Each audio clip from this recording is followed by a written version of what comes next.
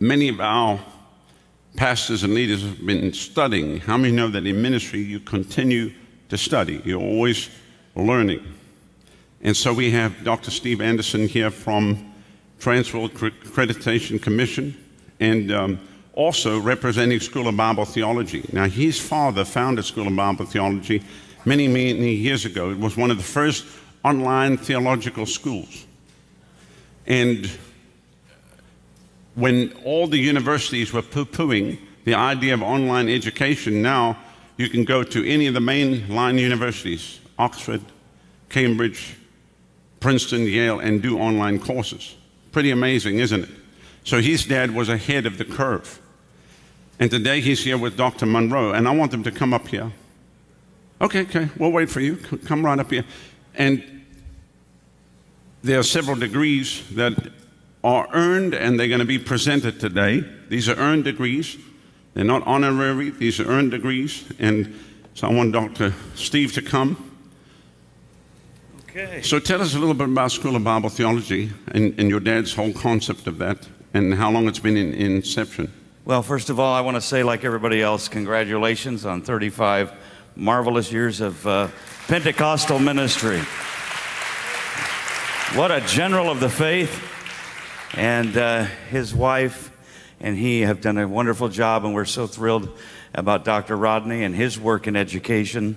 And, uh, and so I think it was 92 when uh, Dad kind of connected with you in Lakeland. And my dad, first of all, let me just kind of go back. Uh, School of Bible Theology, Seminary University, has a prominent role here in the ministry because when Dr. Rodney came here, he had a quality that my dad and Dick Mills and Roy Hicks and all the generals of the faith really admired. He was under criticism for the joy and a lot of the manifestations that went on. And his way of countering that was having generals of the faith like Dr. Bob Nichols uh, sign off on what he was doing. He said, Look, I'm accountable. I want people to know that I have sound doctrine and that we're not just having a zoo and anything goes. And so he would have these men in the service to watch him, analyze his doctrine, and uh, even Dr. Oral Roberts and Dr. Kenneth Hagin Sr. And uh, he didn't, uh, Dr. Rodney didn't just get up and do anything he felt like doing. He would cover things that he had in his spirit and made sure, you know, because the Bible says the word and the spirit agree. And so he would run it by these men.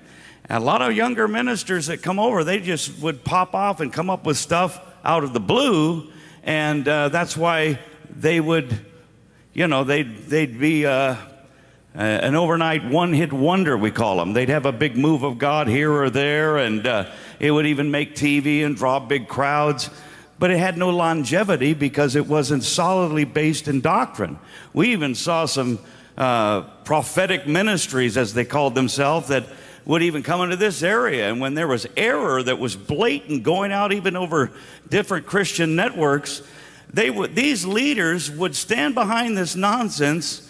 And here was Dr. Rodney warning them in tears. This is not biblically uh, sound doctrine. And they'd say, if you even criticize these men, be careful, it's blasphemy.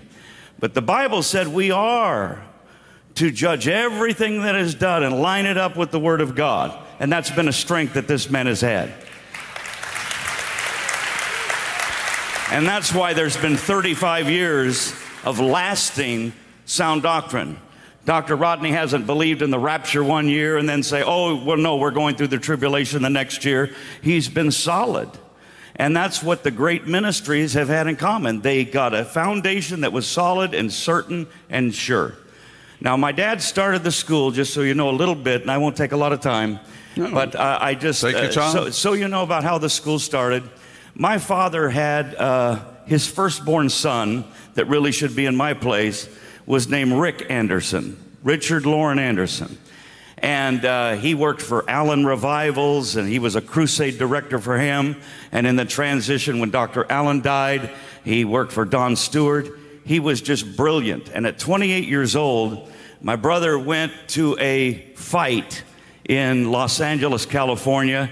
It was a notable boxing match of uh, Muhammad Ali and Ken Norton, September the 10th, 1973. Uh, he was staying at the same hotel. He met with Muhammad Ali, was an avid sports fan, like you're a golf enthusiast. And uh, so we know that he got to meet up Muhammad Ali that night and uh, had his autograph picture with him. And it was just a great celebration. It was a decision match there at the Forum in Los Angeles. And he checked into that Marriott hotel there by LAX. And when he went out to his car, he was driving a new 1973 Monte Carlo. That was the ride at the time. And he was dressed sharp because, you know, he was around A.A. Allen all the time and they looked sharp, you know, they just dressed sharp. And, uh, but he was a target for a carjacker. And so uh, my brother, my dad's firstborn son, uh, was kidnapped, robbed, and murdered uh, that night, which it was after midnight, so it was 9 11, 1973. This was devastating to my dad, to say the least. And uh, many ministries have a midnight hour. I know Dr. Nichols has had, Oral Roberts did. T.L. Osborn lost his own son uh, on the steps of the ministry in Tulsa, Oklahoma. But every ministry that has a midnight hour always has a dawning when the sun rises. It took my dad a year, but God gave him repentance. We never found out who killed my brother, uh, and it was probably for the best. But my dad was just eaten alive with grief and, and bitterness against murderers. But the book of Acts talks about repentance that comes from God that sets you free. And God gave him the heart to turn that bitterness into a creative work. And so in 1974, he said, You know, I've lost many son, my son and my firstborn son, but I'm going to raise up many sons in the faith. And uh, that's when he started School of Bible Theology, Seminary and University. So it's important you know that story. He had a dawning.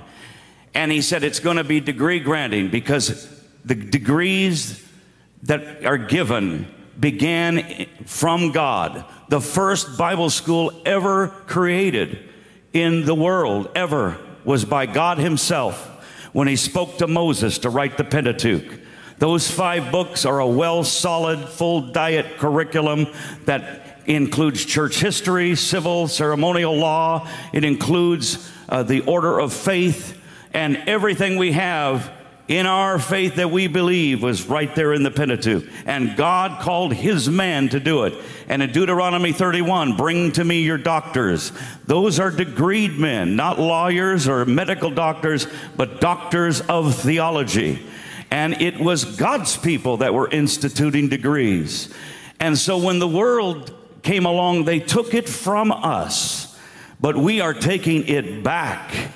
And that's what my father's vision was in 1974. Laughed at, articles written called degree mills, accreditation mills, say what they want, just like they've made fun of the ministry and the joy of Dr. Rodney and Adonica. You press on, you push on, and before long, people aren't laughing anymore.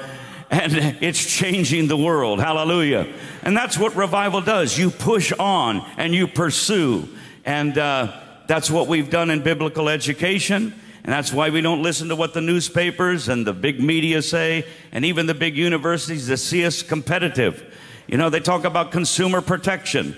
Well, this is a degree mill. This is just the church doing this. There's not much to it. We need to protect the consumers from fraud. But you know what? When you go to a big university and they get your twenty to fifty thousand dollars in a student loan you can check out but never leave from, you can't discharge it in bankruptcy or anything. It's stuck with you for life.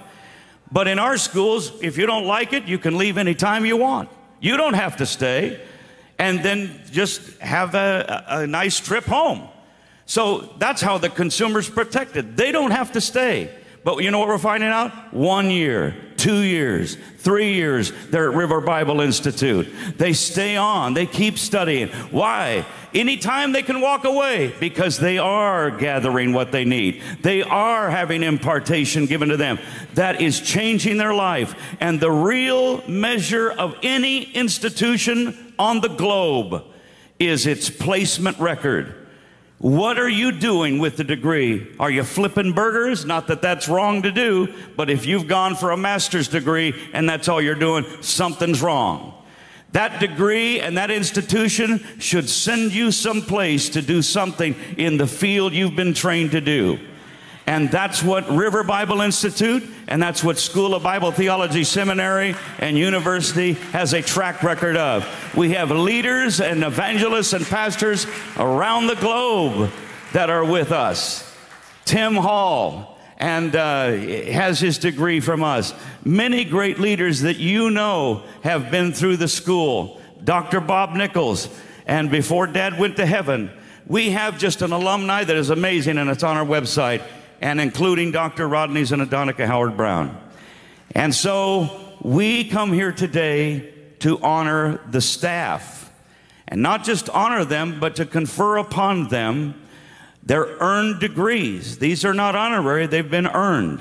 So and we want to call to this platform and uh, honor today uh, the different ones uh, that, that we are going to honor today. No, you call. Yeah, let's call them up together, and then we'll Okay, Charles Allen Hawes, will you come today?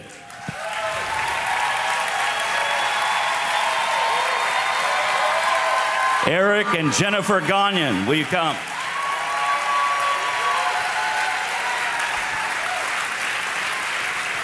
Derek and Cheryl Golding.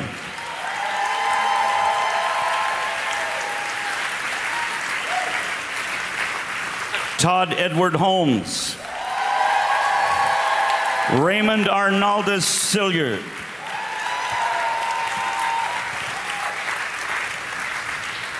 So you want to present? Okay. Todd Edward Holmes, Doctor of Ministry earned.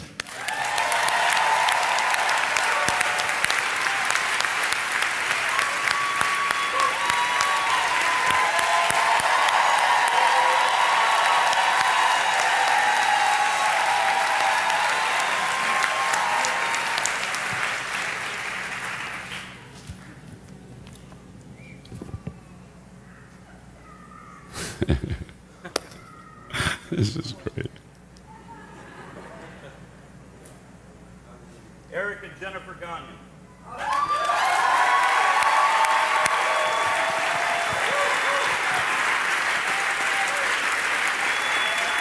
And, and those are doc, doctorate of ministry, yeah. Doctor of ministry. Where's that mic? Speak into the mic.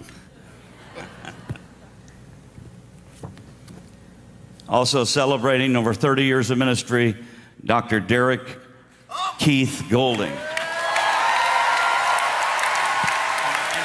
Wife, Cheryl Ann Golding, his wife, Doctor of Ministry.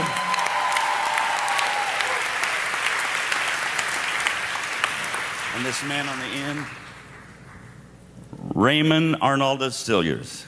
And that's Master of Theology. Mm-hmm. And of course, the man in the middle, this wonderful youth leader, praise God, man of fire, Charles Allen Hawes, Master of Theology.